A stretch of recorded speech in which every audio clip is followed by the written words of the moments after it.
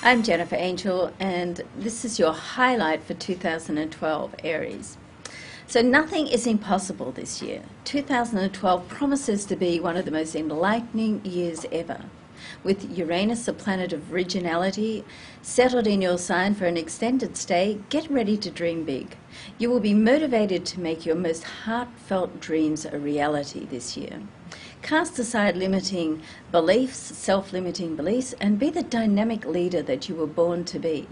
Now, your empowerment day, when the sun and moon connect on the 22nd of March, you have the determination to push through any barriers. Now, your power month, an abundance of planets in your sign during March makes this an inspiring month. Connections with people who you make can be life changing. The decisions that you make over this period can literally change your life. But keep in mind, communication planet Mercury goes retrograde on the 12th, so ensure that all agreements are confirmed in writing.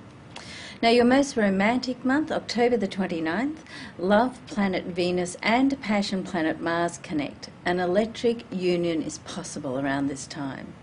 Your spiritual involvement, with Neptune sitting in your solar 12th house from February the 4th, your intuition will kick in and you are urged to listen to it and follow your own advice. Now, my angel advice for the year you can now step into your circle of power and be and do more than ever before.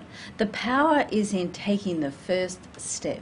One day at a time, your life will merge into a new level of existence and it'll be one of excitement and stability.